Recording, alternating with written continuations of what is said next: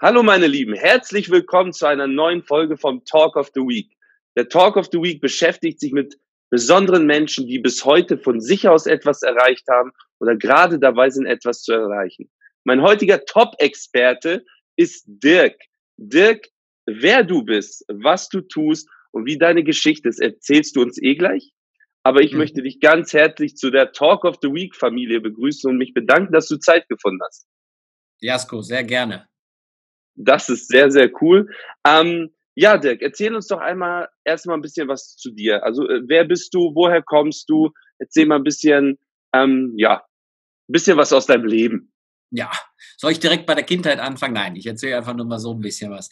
Also, ich bin äh, Medienwissenschaftler, Diplom-Medienwissenschaftler, ähm, habe mein halbes Leben beim Radio verbracht, also sowohl ähm, am Mikrofon als Moderator, als äh, Radioredakteur, äh, als Programmleiter und habe ähm, dann mich auch äh, selbstständig gemacht mit einer eigenen Firma, die sich mit Radio mhm. und Podcast beschäftigt hat. Ich mache das Ganze jetzt mehr als äh, 20 Jahre. Ich muss immer überlegen, ja, so alt bin ich geworden mittlerweile, also mehr als 20 Jahre. Ähm, ich würde mal behaupten, ich kenne mich ganz gut aus, gerade in Bezug auf Podcast, weil ich schon sehr früh damit angefangen habe, äh, nicht nur ähm, den eigenen Podcast zu machen, sondern auch mir die Podcast-Welt genauer anzuschauen und auch zu analysieren, was dieses Medium äh, überhaupt mit der Gesellschaft im Moment macht, ähm, was die Menschen, die einen eigenen Podcast machen können, um es für sich zu nutzen, wie sich das Ganze im Moment entwickelt, auch natürlich mit dem Blick aufs Thema Radio, was tut sich da gerade, was, mhm. was machen die Sender durch, was macht der Verbraucher durch, welche, welche Dinge mag er so? Und ich glaube, da kenne ich mich ganz gut aus und ähm, ja, habe mich da positioniert als Experte, ähm, bin immer, also ich lasse immer die Kirche im Dorf, also ähm, wenn ich etwas als meine Meinung äußere, dann versuche ich immer mit das mit Argumenten zu unterstützen, weil mhm. ich sage nicht, meine Meinung ist die richtige, sondern meine Meinung ist im Grunde genommen nur die Meinung, die heute für mich richtig klingt, nach meiner mhm. Recherche mhm. und nach meiner Analyse der Dinge. Ähm, versuche das immer mit Argumenten zu belegen, aber ich will jetzt nicht sagen, dass ich hier die Radio- und Podcast-Weisheit mit Löffeln gefressen habe. Aber das, was, wie du jetzt geantwortet hast, sagt mir, dass du dich stetig weiterentwickelst und das ist ja schon mal ein sehr, sehr wichtiger Punkt, um überhaupt Experte zu sein, finde ich. So, viele ähm, entwickeln eine Sache, machen das, entwickeln sich nicht weiter und sagen nach 20 Jahren, das ist immer noch genau das, was man braucht. Aber so wie du schön gesagt hast, Zeit du musst, ja. also Du musst, wenn du, also du, klar, die Ausbildung ist erstmal das eine, und das habe ich auch gemacht. Ich habe ein Studium gemacht, habe mich damit beschäftigt, habe in meinem äh, privaten Zeit während des Studiums schon für Medien gearbeitet, habe auch mal versucht, beim Fernsehen zu arbeiten. Das machte keinen Sinn, weil mein Gesicht wahrscheinlich nicht hübsch genug ist, aber egal. Ähm, das finde ich nicht. dann, dann ist halt wichtig, ähm, sich also man kann sich natürlich Dinge aneignen und man kann die eins zu eins weitergeben. Aber ich glaube, das Allerentscheidendste ist es, wenn du ein Experte sein willst, ähm, dass du versuchst, äh, ähnlich wie auf dem Aktienmarkt. Also den Stand der Dinge kann jeder erzählen, aber die Vermutung, wie es später mal wird, das ist immer das Interessante. Und das, glaube ich, ist die Expertise und das ist, glaube ich, das, womit ich mich am häufigsten beschäftige, eben die Studien anzuschauen, mir anzuschauen, vielleicht irgendwas herauszufinden, was über die Zukunft was aussagt. Und das ist dann so im Grunde das Nonplusultra, glaube ich, um dann was Vernünftiges sagen zu können. Liebe Zuschauer, das ist schon mal ein sehr, sehr wichtiger Punkt, den Dirk gerade genannt hat. Denn ich habe auch, ich spreche auch mit sehr vielen Experten und ähm, ich bin ja in der Persönlichkeitsentwicklung tätig und ich habe wirklich gemerkt, ähm, die Menschen, die wirklich richtig erfolgreich werden, gucken immer nach vorne und überlegen sich schon, wo könnte oder was könnte passieren. Ich habe mal einen ganz coolen Spruch gehört von einem ähm, Ex-Profispieler im Eishockey. Ähm, Medien haben ihn gefragt, warum bist du so erfolgreich geworden als Eishockeyspieler? Und dann hat er gesagt, ich bin niemals dorthin gegangen, wo der Puck ist, sondern ich war immer dort, wo der Puck hinkommt. Mhm. Und dementsprechend wurde ich so erfolgreich. Und ich glaube, das kann man auch aufs Business beziehen, dass man schon vorausschauend denkt, wie, wo könnte sich der Markt hinentwickeln und wie kann sich das überhaupt alles entwickeln, um weiterzukommen. Zumal sich auch im Bereich der Medien, also mittlerweile, dass die Digitalisierung auch so vollzogen hat, dass äh, sich alles so schnell ändert. Heute ist Podcast in der Form interessant. Vielleicht in einem Jahr sind Podcasts schon in einer ganz anderen Form interessant, in mhm. die wir jetzt noch gar nicht reindenken. Ähm, und beim Radio genau das Gleiche. Ne? Also da wandelt sich sehr, sehr viel wie in allen anderen Branchen auch. Und äh, da muss man fit sein, damit man dann nicht überrascht wird. Mhm. Ähm, jeder Mensch hat irgendwie Gefühl, das Gefühl, dass gefühlt jeder derzeit einen Podcast erstellt. So. Mhm. Ähm, viele sagen dann natürlich auch, ja, Podcast, der, der Markt ist ja auch schon völlig überfüllt. Da hat man doch gar keine Chance, überhaupt mal hochzukommen. Ich glaube, du bist da etwas anderer Meinung.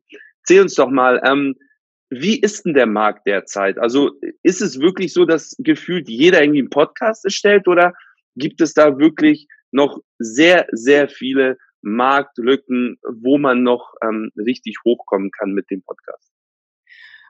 Ich würde das Ganze ähm, mal von einer anderen Seite versuchen zu beleuchten. Also erstens, ja, der Markt wird gespült durch mhm. Podcasts. Mhm. Reihenweise, alle machen Podcasts. Wir streiten uns jetzt nicht darüber, ob die gut, schlecht, gute Qualität sind, schlechte Qualität sind. Das ist jetzt erstmal egal. Das äh, wäre sowieso ein Urteil, das ich mich nicht anmaße. Ähm, mhm. Was Fakt ist, wenn man einen Podcast hat, muss man sich mal von sämtlichen Größenordnungen, was Follower, User, Zielgruppe angeht, lösen weil mhm. der Podcast an sich einfach eine, eine sehr, sehr loyale Zielgruppe aufbauen kann durch die Abo-Funktion und auch durch die Funktion, dass derjenige sich aktiv dafür entscheidet, den Podcast ähm, zu hören und sich aktiv für dich und deinen Podcast entscheidet und für dein Thema, so dass wir natürlich viel, viel höhere Prozentsätze haben, wenn wir später mal was damit verkaufen wollen oder irgendetwas mhm. damit erreichen wollen, als wenn wir vielleicht irgendwo im Social Media ein Netzwerk haben, wo sehr, sehr hohe Streuverluste sind. Ähnlich auch mhm. analogen Werbemöglichkeiten. Von mhm. daher glaube ich nicht, dass man, dass die Ausrede zählen würde, oder wenn es eine Ausrede ist, naja, ich mache jetzt mal keinen Podcast, weil da sind schon so viele unterwegs. Mhm. Was angeht, was das Thema angeht, wenn jetzt sehr, sehr viele mit meinem Thema schon, was ich jetzt selber auch habe, im Podcast machen, lohnt es sich trotzdem, äh, das zu tun, weil dann muss man sich einfach unterscheiden von denjenigen. Zum einen kann man sich sehr gut unterscheiden in der Form der Qualität, mhm. weil genau das ist etwas, was ich im Moment so als Radiojournalist ähm, wir haben früher immer beim Radio gehört, wenn wir so nicht ganz so gute Töne geholt haben, weil wir irgendwie das Mikro nicht richtig gehalten haben oder weil daneben lautes Auto hergefahren ist. Dann ist man zu seinem Redaktionsleiter gegangen und der hat gesagt, das ist nicht sendbar. Das kannst du nicht bringen. Das können wir nicht mhm. nehmen. Das ist bei Podcasts leider nicht, dass es diese Qualitätskontrolle gibt und manche Podcasts sind halt wirklich, sind wir mal ehrlich, zumindest audiomäßig von der Audioqualität her nicht gut. Mhm. Gleichzeitig gibt es halt die Möglichkeit, mal darüber nachzudenken, ob man nicht hätte manchmal einen kreativeren Ansatz finden können, um sich eben von dieser Masse zu unterscheiden. Und ich glaube, da liegt mhm. genau das Glück.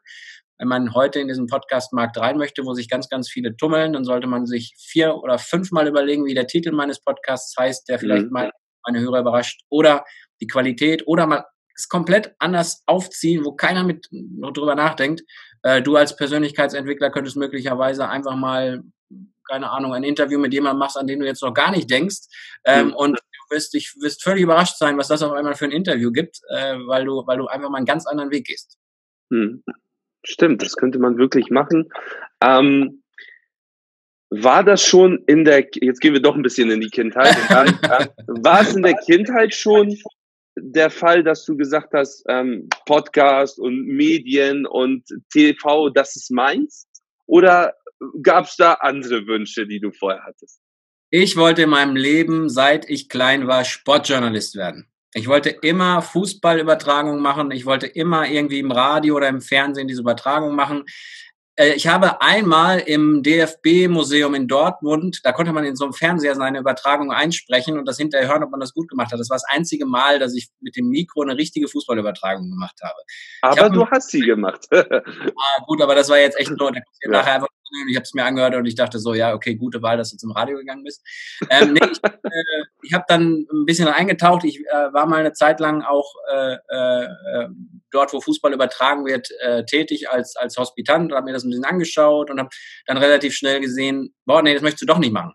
Und dann ist der Weg irgendwo zum Thema Podcast gekommen, weil ich das spannend fand, überhaupt die Medienanalyse im Audiobereich zu machen und Berater zu werden und äh, Dienstleister zu werden. Und heute am Tag kann ich sagen, das war also definitiv die richtige Entscheidung, weil es mir einfach super viel Spaß macht, so kreative Konzepte für Podcasts zu entwickeln. Wenn jemand zu mir kommt sagt, ich möchte einen Podcast haben, eben zusammen mit ihm was auf die Beine zu stellen, was einfach für ihn selber toll klingt, für die mhm. Verbraucher toll klingt. Und selbst wenn das Ding voll in die Hose geht, dass es keiner hören will, aber niemand soll sagen, das klingt nicht gut. Also das soll. Okay. das klingt super.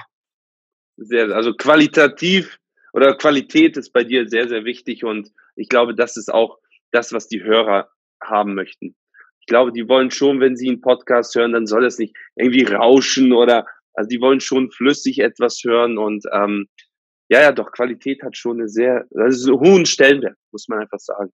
Die Qualität leidet oftmals darunter, dass ähm, Podcaster die die ja den, den, den Trugschluss haben, dass sie unbedingt jede Woche eine Folge machen müssen oder jeden mhm. Tag noch. Mhm. Äh, meine Vermutung ist, dass diese, dieses ja, Mysterium irgendwann mal entstanden ist, weil am Anfang der Podcast-Zeit hatten so Medienverlage als erstes angefangen. Ne? Die mhm. haben einen Podcast gemacht und die hatten natürlich die Redakteure, den Content und die Möglichkeit, einen täglichen Podcast zu machen. Mhm. Meiner Meinung nach muss man keinen täglichen Podcast machen. Man sollte, wenn man einen Podcast auf den Markt bringt, natürlich nicht nur eine Folge launchen, sondern fünf. Aber wenn der Hörer oder der, der Abonnent dann äh, alle drei, vier Wochen eine richtig coole Folge kriegt, die richtig cool klingt und die ein Konzept hat, ähm, wüsste ich jetzt nicht, wer sagen würde, nee, das ist mir zu wenig, das höre ich nicht. Mhm. und man kann mit dem Content in jeglicher Form spielen. Also man muss nicht 100 Folgen haben, um 100 Mal ein Posting bei Facebook zu machen. Man kann auch einfach mal ähm, später nochmal auf eine Folge eingehen, die man schon hatte oder, oder was posten, was die Produktion angeht, während man dabei ist oder was recherchiert. Also ich würde mich da, glaube ich, als, als Podcaster nicht so unter Druck setzen, da unbedingt jede Woche eine Folge auf den Markt zu bringen. Ähm, ich glaube manchmal, wenn ich einen ganz, ganz tollen Experten habe, soll ich vielleicht lieber warten, bis ich mal persönlich mit ihm am Tisch sitze und einen Podcast produziere, als dass ich ihn irgendwie über jetzt so einen Zoom-Call, wie wir ihn machen, mhm. aufzeichne, wenn er möglicherweise schlechte Qualität hat. Mhm. Aber ich glaube, hiermit nimmst du wirklich vielen Menschen auch den Druck gerade raus. Weil ich habe das auch bemerkt mit den Leuten, mit denen ich, also ich werde jetzt auch demnächst mit dir zusammen Podcast machen, ähm, erstellen in diesem Jahr. Und ich habe aber auch gemerkt, dass ich mit den Menschen, mit, die schon einen Podcast erstellt haben, gesprochen habe und die immer wieder gesagt haben, ja, ähm, oh, ich bin voll unter Druck, ich muss jetzt schon wieder nächste Woche liefern, ich habe die Gäste nicht und ich weiß gerade nicht, was ich sagen soll. Und ich glaube, stimmt, da hast du recht, darunter leitet wirklich die Qualität, weil man dann irgendwann in diese Sackgasse kommt, dass man sagt, ich muss das jetzt machen, egal wie. Und dann vergisst man die Qualität. Das stimmt. Und vor allen Dingen, am Anfang hat man sich so angestrengt, die Zielgruppe einzusammeln, so ein gutes Produkt gebracht. Und mhm. hinterher, weil man gesagt hat, jetzt muss ich irgendwas bringen, bringt man nicht so gute Sachen und verliert die alle wieder. Wie schade ist das denn? Also dann doch lieber zu sagen, komm, ich nehme einen realistischen Umsetzungszeitraum, also neben meiner Arbeit, neben den Dingen, die ich sonst noch tue, habe ich die Möglichkeit, mich einmal im Monat samstags hinzusetzen und drei Folgen aufzuzeichnen und die bringe ich dann in dem und dem Abstand, damit ich auch in Ruhe in den Sommerurlaub fahren kann mhm. und nach dem Sommerurlaub noch eine auf Halde habe. Zumal man ja beim Hosting auch entscheiden kann, wann man sie sendet. Man muss ja nicht sofort alles rausknallen. Man kann über das Hosting entscheiden, Folge 7 kommt an dem und dem Datum, Folge 8 kommt zwei oder drei Wochen später. Das ist ja technisch alles möglich. Mhm. Ähm, bist du sofort in die Selbstständigkeit oder ins Unternehmertum gekommen nach deiner, nach deinem Studium oder hast du erstmal Erfahrungen irgendwo in einem Job gesammelt? Ich wollte nie angestellt sein. Ich wollte immer mein eigener Herr sein. Ich war während meiner Studienzeit einmal, ja, wenn man so sagen will, angestellt. Da habe ich beim Aldi auf Minijob-Basis die Dosen mhm. eingeräumt. Während meiner Studienzeit. Das habe ich auch einige Jahre gemacht. Übrigens sehr äh, Grüße an die Kölner äh, Aldi-Filiale. Das waren sehr nette Menschen dort und ich mhm. habe äh, gelernt, dass äh, man nicht zu viel Kölsch auf einmal trinken sollte. Ähm, und äh, äh, danach bin ich sofort zu Medien gegangen. Also ich habe mhm. Praktika gemacht bei Radiosendern, habe äh, äh, ähm, dann direkt als freier Mitarbeiter angefangen, habe dann meine Firma gegründet. Ich war im Grunde nie angestellt und wollte das auch nie sein. Mhm. Okay. Viele haben nämlich Angst vor dem Schritt. Selbstständig. Selbstständig ja, selbstständig zu sein, Unternehmer zu werden. Man muss, ja. der, man muss der Typ dafür sein. Also ich mhm. glaube, es gibt viele Menschen, die sind nicht, äh, sind vom Typus her nicht dafür geeignet, möglicherweise. Oder sagen mhm. wir mal so, also sie müssen dann dran arbeiten, damit sie es können. Mhm. Ähm, es gibt Menschen, die können es äh, von alleine, weil sie, weil sie so sind, wie sie sind. Ich glaube, ich glaube, es ist schon mal schlecht, wenn man so ein bisschen auf der, auf der theoretischen Basis unterwegs ist und nicht so der Machertyp. Das ist, glaube ich, nicht mhm. gut weil, weil als Unternehmer musst du halt sehr, sehr viele Dinge einfach machen und äh, auch wenn du jetzt noch Zweifel hast, einfach mal durchziehen, ja. strukturiert äh, und gucken, was draus wird. Und selbst wenn es mhm. mal in eine Buch geht, dann machst du es halt beim nächsten Mal normal und versuchst irgendwie was hinzukriegen. Jeder von uns ist als Unternehmer äh, schon mal ordentlich auf die äh, Schnute gefallen, ist dann wieder aufgestanden und hat weitergemacht, in welcher Form auch immer, ob es ein richtig krasser Fall war oder nur ein kleiner. Ähm, aber ich glaube, vom, vom Typ her wenn man wirklich so ein bisschen Macher ist, wenn man kreativ ist, wenn man trotzdem auch ein kleines bisschen strukturiert und organisiert ist, kann nicht viel schiefgehen. Das stimmt. Da hast du vollkommen recht. Und ich mhm. glaube, dieses auf die Schnute fallen gehört halt dazu, weil man einfach dadurch auch Erfahrungen sammelt. Haben ja Angst. Ich wollte jetzt nicht Schnauze in deinem Podcast sagen, deswegen habe ich Schnute gesagt. Aber gut, also ich war, ja, habe ich schon mitbekommen. Ich habe es einfach mal übernommen. ähm, aber viele haben Angst vor Fehlern und ähm, ich sage ja auch immer den Leuten, Leute, erstens gibt es keinen, der keine Fehler macht und zweitens, sei doch froh und glücklich, wenn du mal Fehler machst, weil dann weißt du, wie du es das nächste Mal nicht machst. Und man sagt ja meistens auch so, dass man, also die erste Firma, die man gründet, ist eh, ich sag mal, just for fun. Weil das wird vielleicht nicht genau klappen und ähm, dann hat man sozusagen einfach mal ein bisschen Spielraum, um da zu gucken, wie es überhaupt abläuft, um dann in der nächsten Firma das gut zu machen. Und deswegen, wenn man das alles nicht so ganz ernst und verbissen sieht, sich vorher darauf vorbereitet, ich glaube, dann ist es eigentlich für die Menschen genau das Richtige. Aber gut, es gibt auch Menschen, die einfach ähm, Arbeitnehmer sein möchten und das ist ja auch gut. Ne? Wenn es nicht gäbe, hätten wir ja auch ein Problem. Ne? genau, das ist es. Also von daher jemand, der jede, jeder Beruf ist, hat ja irgendwie sein, seine Werte und äh, ob man nun Taxifahrer ist, äh, äh, Reinigungskraft oder im Chefsessel irgendwo ganz oben in einem Hochhaus sitzt. Jeder Beruf hat seine Werte, jeder hat seine Berechtigung und man muss so ein bisschen für sich einfach den Weg finden, welchen man da nimmt. Und das, was du angesprochen hast, finde ich übrigens auch entscheidend Gelassenheit. Wenn man etwas verkrampft macht, verbissen macht und irgendwelche Ziele unbedingt erreichen muss, weil sie am Existenz äh, hängen, dann wird das nichts. Also die Gelassenheit muss da sein, die Lockerheit muss da sein, weil man sonst auch keine Investitionen sich traut oder so mal zu gehen oder mal ein Risiko zu gehen. Und nur dann kommt man weiter. Ach, das klingt jetzt hier wieder nach dem Unternehmer, der die Tipps gibt. Ich bin eigentlich gar kein Unternehmer so richtig. Ich bin ja mehr Radio. naja, komm. So, dann gehen wir mal wieder in die, äh, in die Situation rein. Ähm, Chef Dick, ähm, ich bin ein, ich möchte Kunde von dir werden und ich sage, ich möchte einen richtig coolen Podcast mit dir zusammen erstellen. Was brauche ich dafür?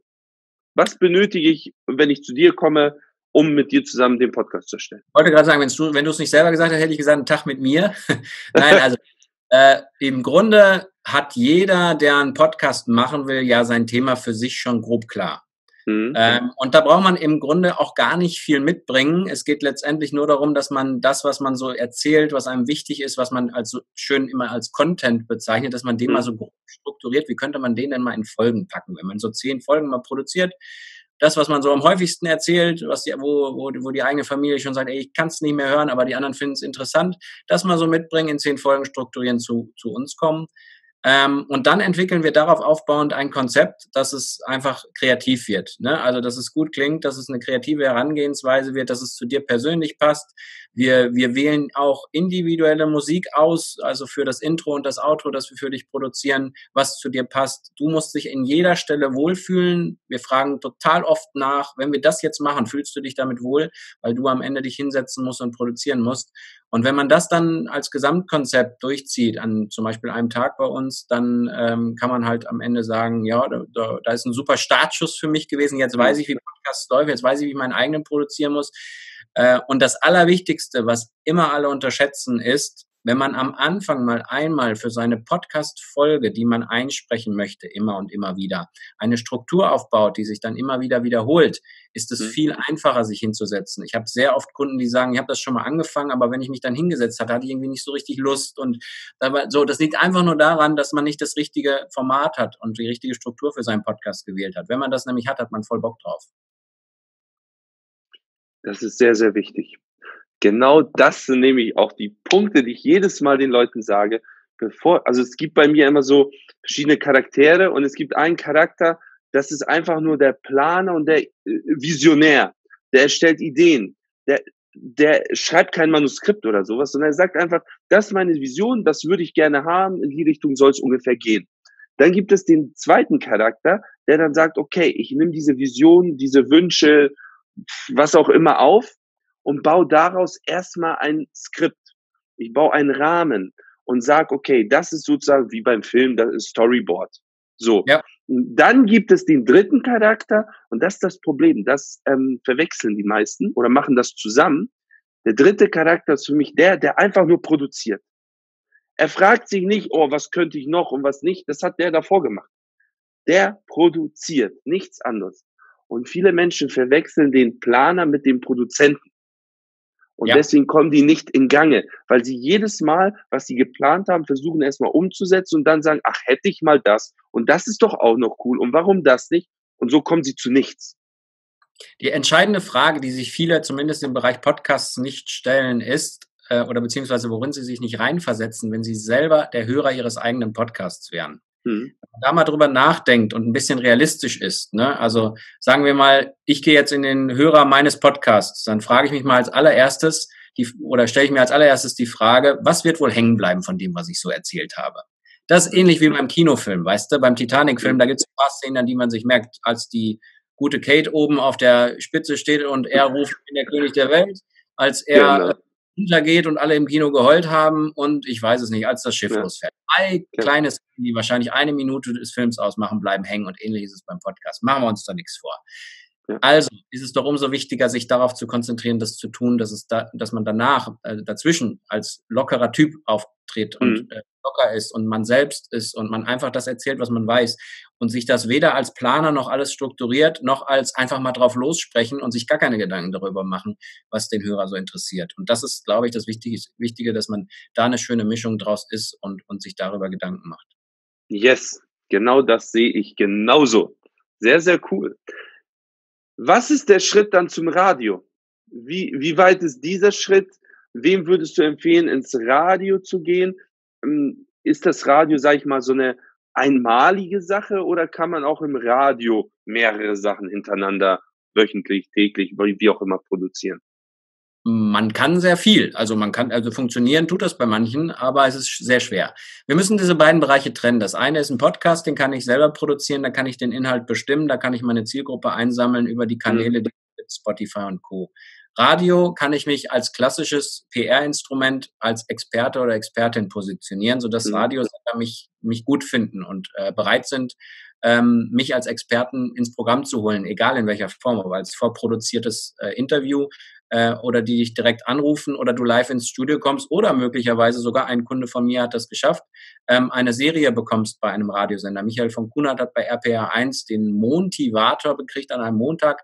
Ähm, wir haben ihm geholfen bei der Positionierung. Er hat aber auch selber äh, äh, sehr viel daran gearbeitet, dass er da hingekommen ist und hat dann seine, seine ähm, seine äh, tägliche oder nicht tägliche, wöchentliche Show bekommen, äh, dass man dann so da ist. Also ich glaube, man sollte das als klassisches Medium sehen, wo man die Reichweite der Radiosender nutzen kann, wenn man da reinkommt. Auch dafür bieten wir ja mit Radioexperten ein Produkt, dass man mit uns zusammen Interviews macht ähm, und wir das dann an die Radiosender vermitteln und man so dann Radiopräsenz bekommt und gleichzeitig aber dann halt auch den Podcast-Bereich mhm. äh, wir bedienen und man selber den bedienen kann, ist in, in der Regel ein bisschen einfacher, ähm, weil man äh, nicht so abhängig von den Redaktionen eben ist. Mhm. Ähm, von der Reichweite her, ist ein Podcast von der Reichweite her weiter oder das Radio? Was würdest du sagen? Oder kann man es nicht vergleichen? Nee, also Reichweite hat Radio eine sehr hohe, hat aber sehr hohe Streuverluste, weil es ein Nebenbei-Medium ist. Ne? Wenn du mhm. Radio, jetzt im Auto hörst du Radio und konzentrierst dich eigentlich gerade auf was anderes und du hörst nur zu, wenn es dich gerade interessiert, so richtig. Also wenn da mhm. irgendein Thema kommt, dann deswegen ist es ein Nebenbei-Medium und da äh, muss man dann im Grunde ähm, die Zielgruppe auf diesem Wege einsammeln, dass hm. sehr viele Streuverluste da sind, die hunderttausende Hörer haben, äh, vielleicht sogar manchmal ein paar Millionen ähm, und man aber nur die rausgepickt bekommt, die dann, sich dann für einen interessieren. Und Podcast ist halt anders. Also sagen wir mal, wenn du m, beim Radio irgendwo bei einem Lokalsender läufst, der 200.000 Hörer und du hast ein Buch rausgebracht, dann kannst du über das Medium 200.000 Hörer erreichen. Das Buch wird zehnmal gekauft. Wenn du beim Podcast äh, ähm, eine schöne Anhängerschaft hast, die Fans von dir sind und du hast zehn Abonnenten oder sagen wir mal 15, kann es trotzdem sein, dass du zehn Bücher verkaufst, wenn du das in deinem Podcast mhm. weißt du? Und das okay. ist der Unterschied. Okay. Ja, das macht Sinn, stimmt. Ähm, und wie ist das? Ah, nee, im Fernsehbereich bist du jetzt nicht. Aber vielleicht kennst du dich damit aus. Wie ist jetzt das Fernsehen noch dazu? Das hat wahrscheinlich noch eine höhere Reichweite, aber noch mehr Streuung, oder?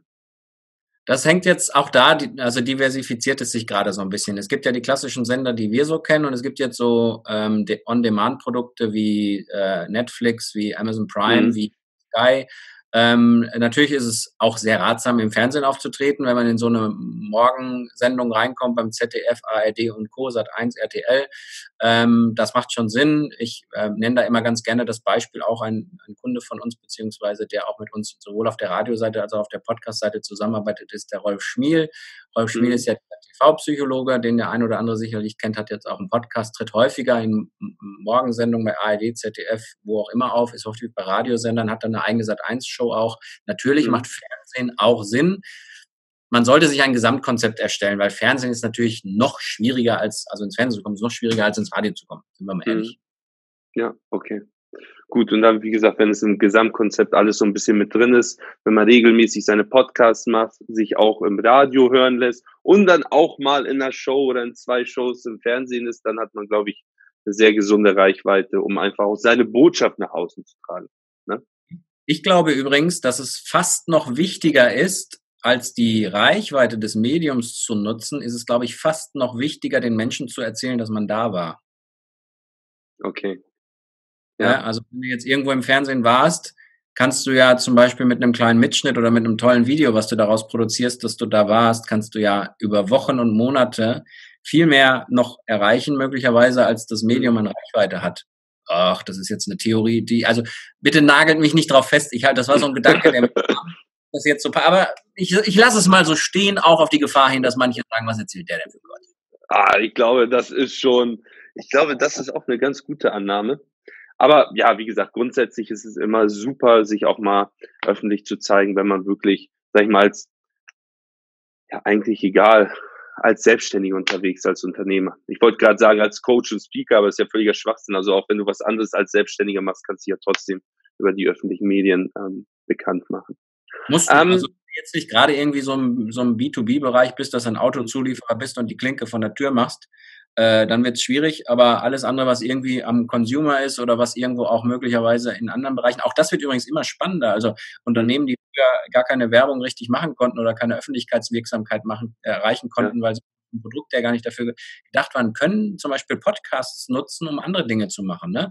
Jetzt bleiben wir mal mhm. bei dem Mann der äh, oder bei der guten Firma, die Millionen äh, Umsätze macht, weil sie für Au, irgendein Audi-Modell und es gibt noch ganz viele andere Modelle, BMW, Volvo, ich wollte mhm. jetzt eigentlich gar keine Werbung machen, aber wenn der Griff dafür zum Beispiel von einem Unternehmen irgendwo aus der Pampa kommt, äh, die sitzen da und machen den Griff dafür, haben eigentlich ein super Unternehmen, schaffen es aber nicht in die Öffentlichkeit zu kommen. Mhm. Gibt es die Möglichkeit, dass zum Beispiel die Auszubildenden des Unternehmens einfach mal einen Podcast machen und etwas über das Unternehmen erzählen? Die müssen das gar nicht über den Klee loben, aber meistens sind solche mhm. Unternehmen relativ toll. Und es lohnt sich da möglicherweise zu arbeiten. Und die suchen Leute, die Fachkräfte oder Auszubildenden, die gut sind. Könnte man möglicherweise mit einem Podcast Werbung für sein eigenes Unternehmen machen und über Stellenanzeigen oder über andere Dinge äh, Öffentlichkeitswirksamkeit machen, wo es dann nicht ums Produkt geht, sondern einfach ums Image der Firma. Stimmt. Das ist auch gar nicht so schlecht. Das ist das, was ah. ich am meinte, mit das Podcast möglicherweise in ganz vielen anderen Varianten noch in nächster Zeit auftauchen. Also ich merke, ich rede gerade wirklich mit einem Experten. Das sind sehr, sehr coole Ansätze, liebe Zuschauer. Hier habt ihr den Experten. Ähm, Nochmal eine Frage, und zwar, jetzt möchte man zu dir. Ähm, wie sieht so ein Tag bei dir dann aus, wenn, wir, wenn man dich bucht? Also man kommt wahrscheinlich zu dir, du hast ein Studio.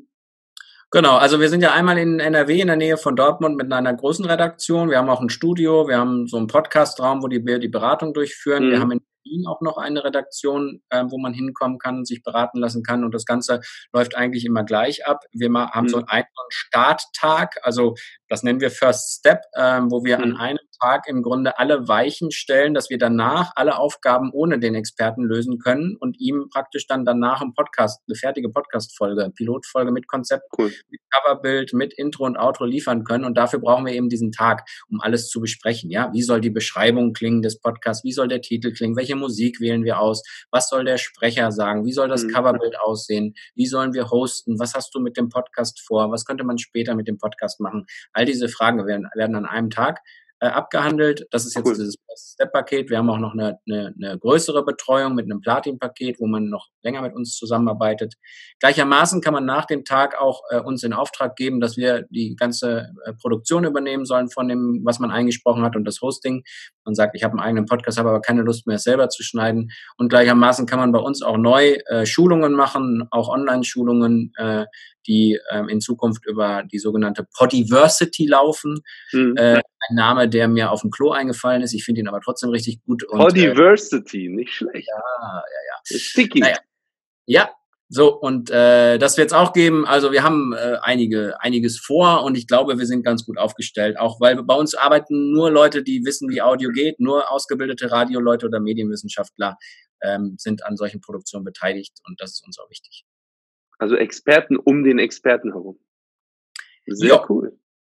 Sehr cool. Wir verlinken das alles unten. liebe Zuschauer.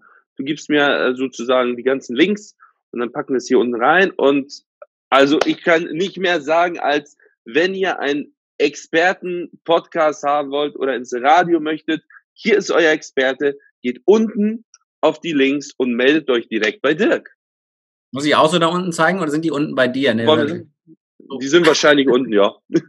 Oder, nee, oben nicht. Oben könnt ihr abonnieren, unten könnt ihr ihnen folgen. ähm, lieber Dirk, ähm, zum Abschluss nochmal eine Frage. Und zwar, die frage ich jeden von meinen Experten, die bei mir im Talk sind. Ähm, was sind deine drei Erfolgstipps, die du den Menschen jetzt mitgeben könntest, die dich im Leben begleitet haben, dass du zu dem geworden bist, der du jetzt bist?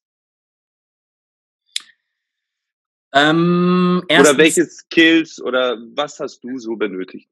Übrigens mal Kompliment für diese, diesen Aspekt, dass man am Ende immer die drei Fragen stellt. Das ist übrigens Konzept haben. Ne? Also, dass man am Ende, dass die Hörer oder die Zuschauer wissen, am Ende kommen die coolen drei Fragen, das will ich wissen. Ähm, ich mhm. glaube, erstens Fleiß. Mhm. Also, wer fleißig ist, wer Gas gibt, wer sich nicht scheut, am Anfang ähm, auch mal ein bisschen über die Grenzen hinauszugehen, der erntet später und kann es dann ein bisschen gelassener angehen. Ich glaube, das Erste, was, was man machen muss, um Erfolg zu haben, ist fleißig sein. Mhm. Das Zweite, was man, glaube ich, äh, sein sollte, das klingt jetzt total abgedroschen, ist aber tatsächlich so Authentizität. Ne? Also man soll sich mhm. nicht verstellen und am besten, ich bin ganz ehrlich, man soll locker sein. Ne? Also ich mhm. äh, habe mal eine, äh, das Glück gehabt, dass ich mal mit dem Kontinentalchef ein Abend, in ein Abendessen reingerutscht bin, in einem Fünf-Sterne-Hotel, wo es so Chili-Fäden auf dem Essen gab und ich die mhm. Chili gegessen habe und gedacht habe, mein Gott, ich muss die ganze Zeit husten, das kann alles nicht wahr sein. Und am Ende hat der Kontinentalchef bei mir bedankt, dass ich der Einzige war, der auch mal einen Witz gemacht hat und mal ein bisschen locker war, weil alle anderen total steif waren, weil man denkt, man müsste zu so einem CEO ähm, äh, irgendwie besonders äh, mit Manieren glänzen und bloß nicht irgendwie was sagen, was den verärgern könnte oder zum Nachdenken bringen könnte. Ja, also lieber mal ein bisschen locker bleiben, man selbst sein und auch mal einen lockeren Spruch äh, riskieren, der daneben geht. Ich glaube, das ist auf Dauer gut. Also hm. Zweitens Authentizität und mal humorvoll und Gelassenheit. Und äh, drittens ähm, ja, da muss ich mal kurz überlegen, was ist drittens? Ich glaube, sich nicht verzetteln. Also ähm, man macht ja meistens, fängt man mit einer Sache an und dann baut man noch andere Produkte oder andere Dinge auf. Und ich mhm. glaube, das Allerwichtigste ist, dass das ein Konzept bleibt, was nicht durchbrochen wird. Und wenn es durchbrochen wird, mach mal lieber eine zweite Firma auf, ähm, anstatt da irgendwie was zu modeln, was irgendwie gar nicht zusammenpasst. Und äh, oftmals sind ja Unternehmer dann relativ schnell irgendwie kreativ unterwegs, dass sie Ideen ohne Ende haben. Ähm, man muss einen im Kopf eine Ablage Müll entwickeln oder eine Ablage Warten entwickeln, wo man das hinschiebt und dann wirklich auch nicht weiter drüber nachdenkt und erstmal die Sachen macht, auf die man sich konzentrieren sollte. Ich glaube, das ist so der dritte Punkt. Also, also sich nicht verzetteln, sondern den, den Weg gehen, den man hat und, und mit den Dingen, die auch Sinn machen. Und der letzte Punkt ist so entscheidend und den habe ich selber am eigenen Leib erfahren. Ich habe am Anfang, wo ich das Business aufgebaut habe, ich habe äh, mich für alles interessiert und jede Idee, die ich aufgenommen habe, wollte ich umsetzen. Mhm. Und weißt du, wohin ich gekommen bin? Nirgendwo hin. Und dann habe ich irgendwann gesagt, sag mal, das kann doch nicht sein, ne? Ich habe so viele Ideen, ich, ich bin so fleißig, aber ich kriege nichts gebacken. Und der andere macht eine Idee und kriegt das sofort hin. Und dann habe ich gesagt, okay, vielleicht liegt's da dann. Er macht die eine Idee, aber kontinuierlich bis zum Ende. Und so hat sich das bei mir entwickelt und deswegen mache ich immer jedes Jahr, vielleicht auch für euch, liebe Zuschauer, ein kleiner Tipp, den ich aber auch oft bei Instagram sage. Ähm, ich mache mir pro Jahr, ich sag mal, drei große Projekte. Und das war's. Alles andere, was anfällt. Ich habe ein Ideenbuch, da schreibe ich alles rein. Und spätestens im Dezember gucke ich mir das an, sage, ach, die drei Punkte mache ich dann als nächstes. Und seitdem ich das mache, läuft alles. ganz gelassen, Fleiß, also am Anfang ja, aber dann ganz gelassen und es läuft. Als, als Unternehmer muss man solche Erfahrungen machen, um sich weiterzuentwickeln. Das ist mhm. halt normal.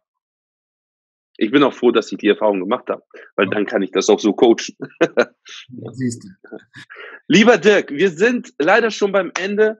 Ähm, ich möchte mich ganz herzlich bei dir bedanken, vor allen Dingen für deine Zeit, weil das das Kostbarste, was wir haben.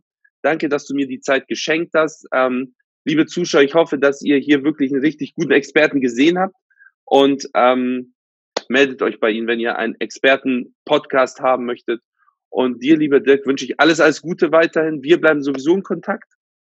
Sehr gerne. Und, ähm, ich gebe immer meinen Talkgästen einfach am Ende nochmal den Raum, weil ich finde, das sollte so sein. Ihr habt das letzte Wort. Wenn du noch etwas sagen möchtest zum Talk, jemand grüßen möchtest, wie auch immer, jetzt hast du nochmal die Chance. Und dann, ich ähm, grüße meine Oma. Nein, also die, die grüße ich natürlich auch an dieser Stelle. Mal sehen, ob sie das guckt. Ähm, aber ich glaube, das, was ich zum Schluss einfach noch sagen möchte, selbst wenn ihr nicht das mit mir macht oder mit unserer Firma macht oder mit den Leuten, die wir da haben, wenn ihr an das Thema Podcast rangeht, macht's gerne auch alleine, aber wirklich darauf achten, dass es einfach sendbar ist, dass es cool ist äh, und dass man sich da zur Not auch an anderer Stelle mit anderen Firmen, die es so gibt, Hilfe beiholt, äh, weil man einfach sonst den Spaß verliert. Fangt nicht einen Podcast einfach mal so an, macht's irgendwie, ihr macht's eine Zeit lang, habt dann keine Lust mehr und das wäre einfach zu schade. Ähm, holt euch einen dabei, selbst wenn wir es nicht sind oder ich es nicht bin. Ähm, würde mich das freuen, wenn ihr den Podcast oder das Medium Podcast für euch entdecken würdet mega geile Worte. Mir bleibt nur noch zu sagen, liebe Leute, schaut euch den Talk an, macht es, wie ich es euch immer wieder sage, schreibt euch ein, zwei Sachen raus, setzt die direkt um und dann werdet ihr den Volk von alleine sehen. Folgt diesen lieben Herrn, folgt diesem Talk und nächste Woche oder übernächste Woche sehen wir uns zu einem neuen Talk. Bis dahin wünsche ich euch alles, alles Gute, viel Erfolg im Leben. Bye, bye. Macht's gut.